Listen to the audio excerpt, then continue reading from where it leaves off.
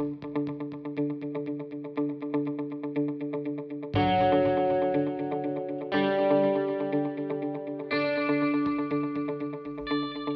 everyone, today I am going to show you how to morph your object into UV layout. Okay, so let's move into Houdini. So first of all, over here I am going to create one geometry container. I just go inside that container and over here I just call one test geometry that is pig head. Okay, so it's already unwrapped and if you want to check the layout UV layout of that particular object you just click spacebar 5 to see the layout of that particular object UV layout okay so now what I need to do is that first of all I just apply one transform over here and move my object little bit up. Okay over here. Now see basically what happened that uh, whenever you deal with that UV if you click over here in info panel so my UV lies on vertices. Okay so I'm going to apply some attribute VOP that is specifically on point. So for that purpose I need to transfer that UV attribute from vertices to points. Okay so over here I just apply one attribute promote. And over here my original class is vertices that is UV so UV to points. But if you see over here by pressing space by 5 you will get something like that. Okay and that is little awkward. So now see what you need to do is that first of all I'm going to create one. Split UV seam so basically it split your geometry according to the UV seams so see for example over here if you click like that and see over here they provide also that if you want to promote your UV to the point so you just need to click over here. Now the base part is that see what it actually did is that for example over here I just apply one exploded view.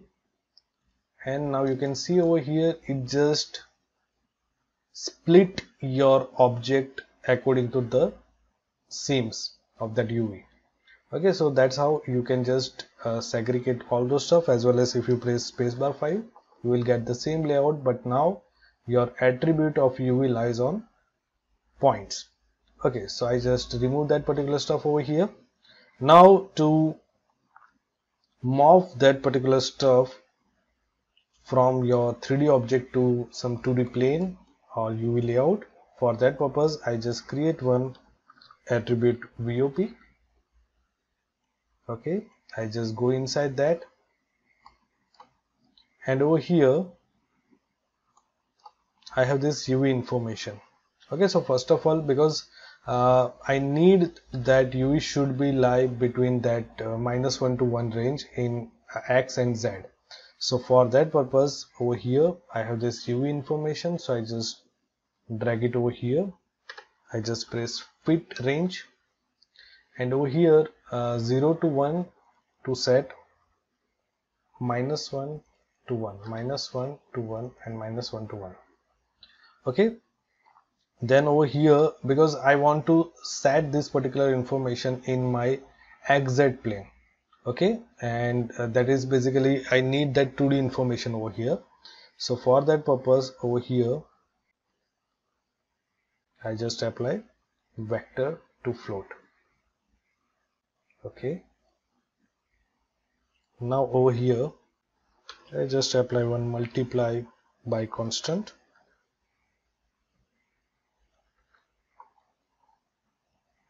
I just drag my this value over here. Multiply with minus 1 now again float to vector. And over here what I need to do is that over here I need to set this particular stuff my y to z. This should be in x and I just set Z to Y. Okay? So now if you just put that particular information into your position you will get something like this over here. Okay? So now I just need to apply one more stuff over here that is multiply by constant. And over here I just multiply it by 2 so it will get little bit over here like this. Okay and even if you want to put some uh, value like uh, if you want to create one constant I just put value 0 and I just put it and y over here. Okay so I'll get that particular stuff in my y. Now uh, what I need is that I need to move that particular stuff over here. So for that purpose I just create one mix. Okay and I put my original position as input 1 this as input 2 and the blend should be go into position.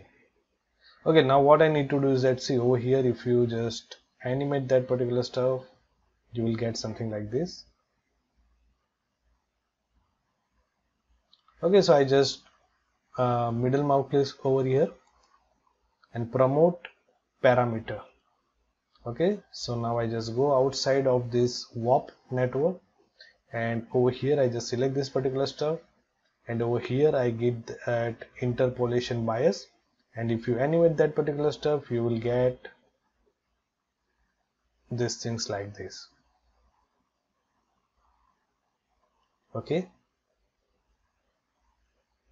so you just need to play animate like this.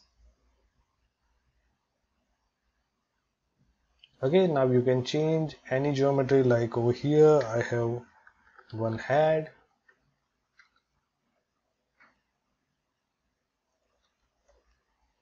I just put it like here. And now see? So that's how you just move your object into UV layout. Okay so hope you like this tutorial. See you soon with another tutorial. Thank you